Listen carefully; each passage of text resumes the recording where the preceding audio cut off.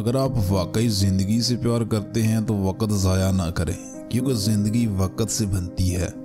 तस्लीम करने की हिम्मत हो तो हर गलती काबिल मुआफ़ी है। बहता हुआ पानी कभी नहीं गलता, इसलिए बहते रहें। आज का बेहतरीन काम कल की तैयारी है। अगर आप किसी चीज़ के बारे में सोचने बहुत ज़्यादा वक़्त सर्फ करते हैं तो आप इसे कभी नहीं कर पाएँगे। मनफी ख्याल को अपने दिमाग में दाखिल ना होने दें, क्योंकि ये वो घास हैं जो आपकी खुद अतमादी को कम करती हैं। सिर्फ़ जानना ही काफ़ी नहीं, हमें लागू करना होगा। रजामंद होना काफ़ी नहीं, हमें करना भी होगा। लाफानी होने का राज सबसे पहले याद रखने के काबिल ज़िंदगी गुजारना है। आसान ज़िंदगी की दुआ ना करें, मुश्किल ज़िंदगी गुजारने की ताकत के लिए दुआ करें। हालात भाड़ में जाएँ, मैं अपने मौके खुद पैदा करता हूँ। इल्म से आपको ताकत मिलेगी, लेकिन करदार आपको इज़्ज़त देगा। दूसरों पर तनकीद करना और इनके जज्बात मजरू करना आसान है, लेकिन खुद को जानने में पूरी ज़िंदगी निकल जाती है।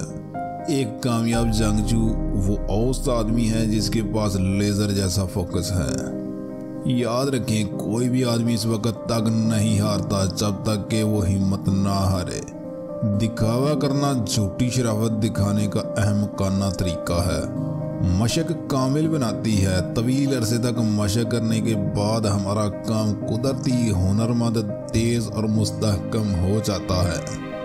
अगर आप तैरना सीखना चाहते हैं तो पानी में छलांग लगाएँ। खुश्क ज़मीन पर कोई भी आपकी मदद नहीं कर सकता।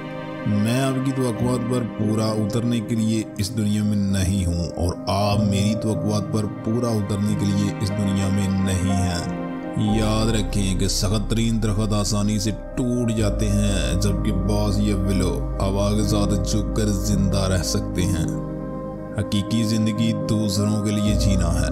अगर मैं आपको कहूँगा मैं अच्छा हूँ तो आप शायद कहें कि मैं फ़ख्र कर रहा हूँ। लेकिन अगर मैं कहूँ कि मैं अच्छा नहीं हूँ तो आप जानते हैं कि मैं झूठ बोल रहा हूँ। खुश रहें, लेकिन कभी मुतमिन ना हो। हार से मत डरो, कोशिश अच्छी हो तो हार भी कामयाब होती है। मैं इस आदमी से नहीं डरता जिसने एक बार दस हज़ार की कीमत की हो, लेकिन मैं इस आदमी से डरता हूँ जिसने दस हज़ार बार एक की कीमत की हो।